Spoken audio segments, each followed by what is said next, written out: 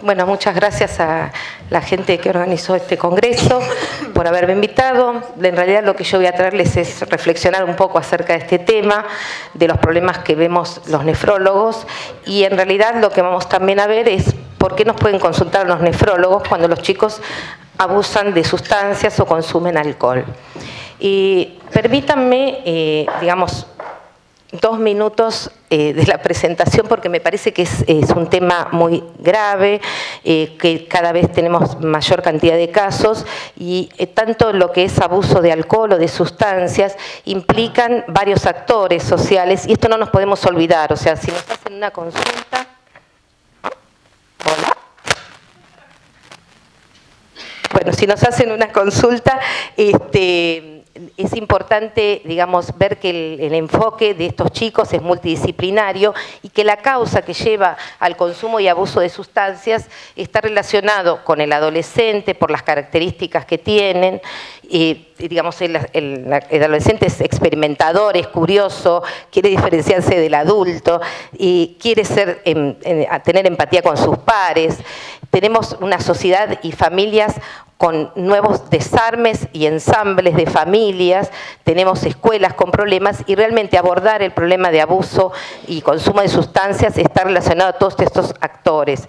Eh, esto no, no, podemos pasarlo porque no es simplemente la interconsulta con el médico, es la interconsulta con el médico, el equipo multidisciplinario y todos estos que tenemos acá que necesitamos que nos ayuden.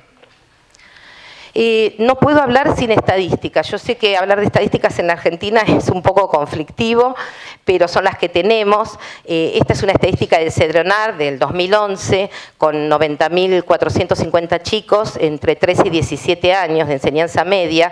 Y acá una aclaración, hay muchos chicos del conurbano que no llegan ni terminan la primaria, ni terminan la secundaria, y estos chicos están fuera de estas encuestas, pero es interesante para ver qué es lo que consumen, porque esto va a ser lo que vamos a hablar en la clase. Ahí está. Igual con la voz que tengo creo que me van a sentir todo el día.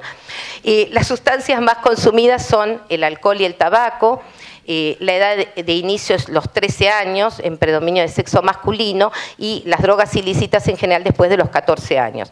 Es importante que lo que más consumen es cerveza, un 70% de los chicos, y los tragos combinados. Un 63% de las chicas y de los varones consumen esto, las chicas sobre todo tragos combinados, y esto es importante porque lo combinan con distintas drogas o pastillas y el vino en un 46%.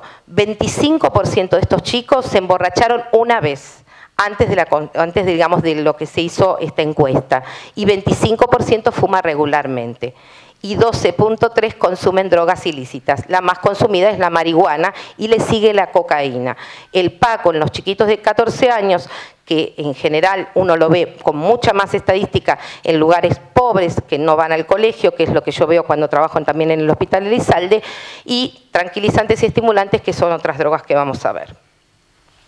Acá esto es eh, una presentación de la estadística donde vemos la incidencia del alcohol y del tabaco y las drogas ilícitas un 12%. Esto es muy interesante. Perdón, ¿se me escucha? Sí. Este, es una importante la estadística del Cedronar porque dicen cómo consumen los chicos. Los chicos consumen experimentalmente, que es por curiosidad, una sola vez, ocasionalmente cuando no provoca directamente, digamos, un consumo que sea obligado por dependencia psíquica o física, y el consumo frecuente, que es cuando les da algún efecto, sea en su vida y en su salud en general. Y si vemos las estadísticas, de las drogas es importante porque esto empieza a los 14 años, se incrementa a los 17 y a medida que va subiendo la edad, sube la cocaína, sube el éxtasis y estas son cosas importantes que nos sirven para ver. Y una cosa importante, el 70% de los chicos con 17 años probaron una vez una bebida energizante y los de 14 un 48%. Creo que tenemos problemas y creo que esta estadística no es del todo real. No, porque falta. Entonces, eh, yo enfoqué la charla un poco desde ¿Por qué un nefrólogo le puede llegar a un chico que abusa de sustancias? ¿Qué tendría que pensar? Y cuando me empecé a, buscar qué es lo que nos consultan, la entidad más frecuente por la que un nefrólogo le pueden consultar es la rabdomiolisis no traumática, que ahora vamos a ir viendo. Y esto es algo que en la guardia del Hospital Elizalde nosotros vemos chicos que entran con consumo de Paco, que aparte se han pegado porque se, se pegan entre ellos, se caen, y estos chicos tienen riesgo de rabdomiolisis. Y la detección precoz es una de las cosas que más tenemos que hacer hincapié en los nefrólogos. ¿sí? Ahora las vamos a ir desarrollando igual. Los trastornos electrolíticos severos. Esto es importante porque algunos requieren tratamiento en el cual va la vida del paciente y algunos no tratarlos a veces es saludable o tratarlos con moderación. Entonces es importante conocer los trastornos electrolíticos que vamos a ver. La hipertensión arterial, que fundamentalmente, eh, fundamentalmente se relaciona a cocaína y se relaciona a éxtasis, es hipertensión arterial muy severa, los, cualquier cuadro de insuficiencia renal aguda que dé cualquiera de las drogas que vamos a ver, algunas glomerulopatías que están relacionadas con drogas, el consumo de drogas como factor de progresión de ERC, los cuadros de retención urinaria, el chiquito no orina, en realidad lo que tiene es un globo vesical porque consumió drogas, y qué chicos debemos dializar cuando se intoxican. Esto va a ser lo que vamos a ver muy rápidamente. Bueno, de rabdomiolisis. Esto sí quiero dar dos palabras porque me parece importante y porque es frecuente que lo consulten. Y lo que es peor, muchas veces los clínicos los ven con CPK alta y no valorizan, eh, se valoriza la consulta. Y básicamente recordamos la rabdomiolisis la más frecuente en pediatría es de origen traumático, de origen infeccioso, pero la no traumática que está relacionada a drogas, que es la que vamos a ver, implica siempre el mismo procedimiento, una destrucción del miocito, libera sus enzimas, la CPK, que es el gol estándar diagnóstico de rabdomiolisis, LDH, aldolasa, la mioglobina, que va a ser el tóxico renal, fósforo, potasio, uratos, y van a hacerlo. ¿Qué drogas? Un montón está descritas, acá las ven, pero lo que tenemos que tener en cuenta es por qué hacen rabdomiolisis estos chicos. Estos chicos la hacen porque tiene, el éxtasis tiene acción directa sobre el miocito, mata al miocito, mata la célula de la miofibrilla. La cocaína, y el éxtasis también, son muy vasoconstrictores y provocan una isquemia muy severa del músculo, con dolor importante, con mialgias importantes, y esto es otra cosa que tenemos que pensar. Muchas veces tienen trastornos electrolíticos, hipocalemia, hiponatremia severa, hipofosfatemia, y esto provoca edema de la fibra muscular y pueden dar lisis también. Y la más común es que estos chicos están en situación, y yo creo que esto quiero que quede claro, digamos, después de la charla, que estos chicos siempre están en riesgo, y en riesgo de situación de violencia, de golpearse entre ellos, golpearse a sí mismos, excitarse y golpearse, tener hipertermia maligna, y todo esto son factores que dan rabdomiolisis, y que uno la debe buscar, porque el cuadro clínico en general, el grave lo detecta cualquiera, el intermedio a veces pasa desapercibido. El cuadro clínico puede ser variable y acá hay que jerarquizar las mialgias, que uno a veces no le da la suficiente importancia porque se golpeó, no le, porque le va a doler, esto se, ve mucho, este, y puede ser un cuadro de mialgias, un cuadro tipo gripal, hasta cuando hace fallo renal agudo o CID, que es la forma más grave. Esto simplemente para recordarles que el tóxico del daño renal es la mioglobina, que cede el hierro en la fibra muscular, da la obstrucción tubular por, por el pigmento y los cilindros, si el paciente está deshidratado, acidótico, esto empeora, es para recordar que la tienen que buscar, el diagnóstico todo lo buscan los clínicos de rutina, en una guardia de emergencia, se hace CPK cinco veces por su valor, es sospecha de rabdomiolisis y de hacer un tratamiento, siempre, bueno, de mal pronóstico, en pediatría más de 10.000, en adultos más de 25.000, si están hipotensos con acidosis leucocitosis o se asocian a CID. Acá lo importante es qué tenemos que hacer. Los tenemos que hidratar, los tenemos que alcalinizar porque disminuye la precipitación de los cilindros, controlar el medio interno, bajarles la temperatura, estos pacientes tienen hipertermia muchas veces, sedarlos y eventualmente diálisis para la ira. El manitol es controvertido, no hay trabajos que digan que usar manitol es mejor que usar solución fisiológica. Yo creo que el concepto fundamental es hidratación sí o sí, hiperhidratación. Alcoholes. Y acá vamos a hablar de dos alcoholes fundamentalmente, yo les traje los tres para que los veamos, el etanol, que dijimos que es la primera causa de consumo de los chicos, y vamos a ver que es el más benevolente en cuanto a las acciones renales específicas. Pero vamos a ver en qué cosas lo podemos eh, ir viendo. El etilenglicol, que esta es la nueva moda, es el líquido refrigerante, es el componente de la jarra loca, que la habrán oído escuchar, donde los chicos mezclan cosas. El etilenglicol saben que tienen que mezclarlo con muy poca cantidad, y esto es importante porque esto va a empezar a aparecer y es causa de acidosis metabólica grave. Y el metanol, que es el viejo alcohol de quemar, que actualmente no se utiliza por su olor. En cambio, el etilenglicol es dulce y es agradable para tomarlo. lo que dan cualquier alcohol son sustancias osmóticamente activas y dan un síndrome de hiperosmolaridad, pero temprano, porque enseguida cualquiera de los alcoholes, por acción de la alcohol deshidrogenasa, que es la enzima hepática, pasa a su tóxico real, que en el caso del alcohol es el acetoaldehído, que deriva todo el acetil-CoA y a beta hidroxibutirato, como si fuera una diabetes, sin hiperglucemia el metanol que da el formaldehído y el ácido fórmico, y el etilenglicol, que estamos hablando este de la jarra loca, donde el ácido glicólico es el tóxico, el que da la acidosis severa, y que después va a ir hacia el eh, oxálico, que es el que va a dar la nefropatía por oxalatos, que esto se ve. Esa hiperosmolaridad es inicial porque está mientras está el etanol, el metanol, mientras yo lo puedo medir. En medida en que daña el tóxico, se daña la célula, empieza a haber acidosis metabólica por láctico, el GAP se eleva, se eleva por el mismo etanol, metanol, etilenglicol y se eleva por el láctico y da un aumento de los mol GAP. Esto lo traje a colación porque es bien biográfico, no todos tenemos oportunidad de medir la osmolaridad urinaria, eh, perdón, la osmolaridad plasmática por fórmula, que todos lo podemos medir, y si no por un osmómetro. El osmol gap es la brecha, la diferencia entre medir la osmolaridad por fórmula y por un aparato. En la fórmula solo tenemos sodio, glucosa, urea, como digamos eh, los principales este, iones para medir cuando, y dan la osmolaridad plasmática. Cuando se agrega algo osmóticamente activo, como el etanol, el metanol etilenglicol, y lo mido en un aparato, eso lo puedo medir. Esta brecha en general es más de 10 miliosmoles.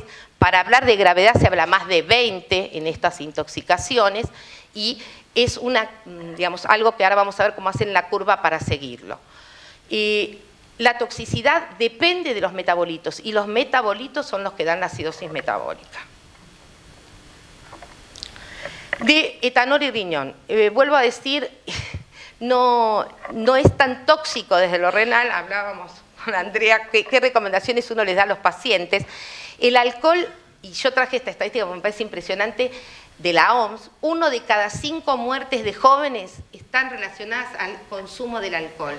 Los chicos por alcohol se mueren porque se ponen en situación de riesgo, porque manejan, porque quizás se caen y se rompen la cabeza o se pelean con otro. No es lo metabólico a veces lo que los descompensa en la intoxicación alcohólica aguda, es todo lo que viene detrás. Y con respecto al consumo crónico, lo que uno ve es que hay en adultos descripciones de mayor incidencia, mejor dicho, de glomerulonefritis posinfecciosa, los pacientes trasplantados tienen mayor nefropatía crónica del injerto y sí están en riesgo de insuficiencia renal aguda o de rabdomiolisis y esto es una de las causas por las cuales se pueden morir.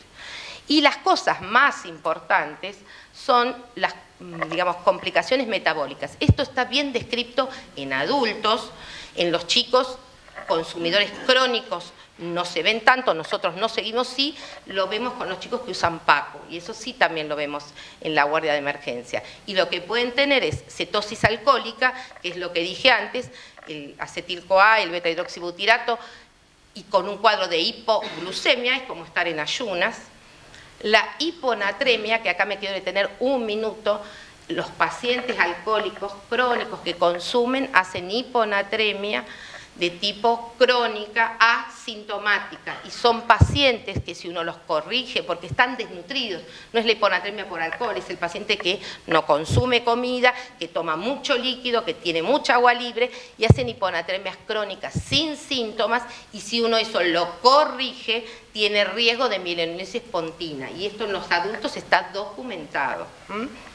La hipocalemia que favorece digamos, también hacer la mielinitis pontina porque se ha deplesionado el cerebro de potasio y no tiene un medio para, digamos, se ha adaptado ese cerebro para el grado de hiponatremia. Y el síndrome de bebedor de cerveza, esto sí es interesante, son quienes consumen más de 3 a 5 litros de cerveza y esto en realidad lo que hacen es no comen, la cerveza no tiene sodio, no comen, tienen muy baja osmolaridad urinaria, porque no tienen ni sodio ni urea, y son incapaces de excretar el agua libre de lo que están tomando y hacen hiponatremia. Esto también requiere un tratamiento conservador y no, digamos, rápidamente corregirlos. Esto lo pongo para los que toman una copa de alcohol, que es mi caso. Este. vamos a ver lo positivo del alcohol. Sí, sí, bien, viste, Adrania, yo sabía. Eh, los polifenoles, esto es muy interesante, eh, en ratas se ha visto que hay menor ionización de arterias, menor eh, estrés, oxidativo, menor peroxidación lipídica, y hay un trabajo que es muy interesante, por eso acá pone el alcohol, las dos caras, cuando daña el riñón y cuando no lo daña, de un eurodiab de adultos, de diabéticos tipo 1, que quien consume 30 gramos de alcohol semanales tiene menos microalbuminuria. Doctora. Esto para que los que toman no sufran tampoco. Doctora, bueno. ¿Cuánto? Ya. bueno, voy volando. Dos minutos de tilenglicol, eh, líquido refrigerante para autos, la jaula loca, dijimos acidosis metabólica, MOLGAP y los oxalatos de calcio. Se hidrata, se corrige la acidosis y se hace hemodiálisis o se les da alcohol porque tiene muy poca, eh, digamos, el alcohol es muy fuerte su, digamos, este, unión al alcohol deshidrogenasa. Entonces el alcohol desvía la toxicidad del etilenglicol. De cocaína y riñón, dos palabras, es un simpático mimético, es un estimulante, es un potente eh, vasoconstrictor, da hipertensión, da daños renales de cambio de hemodinamia, alteración de la síntesis de la matriz, induce aterogénesis, es un gran dañador. ¿Y qué se ve? En agudo, la hipertensión marina es la consulta más común, no usar betabloqueantes porque estimulan el efecto alfa, hay que vasodilatar a estos pacientes, rabdomiolisis, se infarta el riñón, es causa de dolor lumbar, trombosis de la arteria y vena, puede dar nefritis, da antimembrana basal por la inhalación, amiloidosis, PTT ha sido descripta y recuerden que los hijos de madres cocainómanas pueden tener prumbeli, hidronefrosis, tienen más eh, exceso de malformaciones genitourinarias y progrese el fallo renal crónico de y esto sí quiero un minuto, eh, es una droga de diseño, son, las fabrican en un laboratorio especial para que los chicos se desinhiban, para que los chicos tengan empatía por otros, entonces la dosis que en general usan es ya tóxica cuando la van a usar. Y esto es importante, la consumición más frecuente de estas pastillitas, que aparte son muy simpáticas y de muchos colores, pero es un estimulante central que aumenta la secreción principalmente de ADH y de todas catecolaminas y de esta manera vamos a ver el efecto que tiene al nivel del riñón. Los chicos saben todas estas cosas, no por teoría, sino porque se los dice quien la vende y le dicen, tomala con alcohol que te vas a tranquilizar, tomala con un paracetamol o tomala con mucho líquido. Y después tenemos problemas. Eh, puede dar insuficiencia renal aguda, vuelvo a la rabdomiolisis, hay una descripción de vasculitis necrotizante, esto en un donador de éxtasis, dos riñones que dio, los dos hicieron una vasculitis necrotizante, eh, impactante eso. Eh, uropatía porque cierra el cuello, hipertensión maligna, deshidratación obviamente severa. Hay una descripción en el Pediatric Nephrology de una tuburopatía con eh, glucosuria y fosfaturia.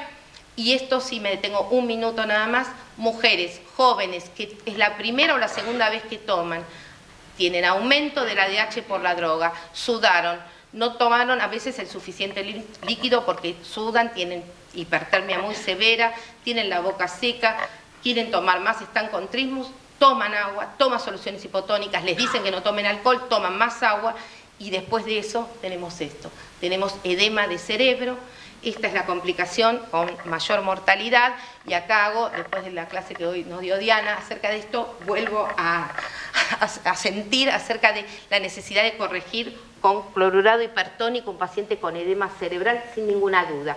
Un adolescente joven con hiponatremia sintomática requiere cloruro hipertónico. Y si vemos la mortalidad, estos son 33 mujeres, si ustedes ven la mayoría son mujeres de consumición de éxtasis, son muy jóvenes, sodio de 101 hasta 130, miren las que se murieron, las que se murieron paro y compromiso neurológico. Estas pacientes tienen que ser tratadas y si uno no conoce la entidad, pasa de los opiáceos un minuto, eh, pueden, está, su eh, consumo viene en decadencia, da daño crónico en el riñón, puede dar nefrótico, amiloidosis, nefritis intersticial y sí pueden consultar por globo vesical en la aguda. Con respecto a marihuana, la marihuana es lo más frecuente que consumen los chicos, pero vuelvo a decir, no da daño en el riñón y esto es un tema. Lo que sí da es las primeras veces que fuman, da un síndrome de hiperemesis por cannabis, porque los compuestos del cannabis dan eh, productos que tienen acción central sobre el centro del vómito. Estos chicos pueden tener deshidratación y ira. Y el policonsumo, riesgo de rabdomiolisis. Y la única publicación de insuficiencia renal aguda relacionado a cannabis está relacionado con los sintéticos, que lo usan porque no se detectan en la orina. Y estos dan necrosis tubular aguda muy severa. Esto es un reporte americano. Y sí puede dar por ira, digamos, distinto a daños miocárdicos, trombosis sintética. Y acá, esto lo traje como a colación, el uso de cannabis en el manejo del dolor de pacientes con insuficiencia renal crónica en adultos. Esto es una cosa para discutir, lo traigo porque me parece que esta es una clase para discutir, por lo menos para abrir la cabeza.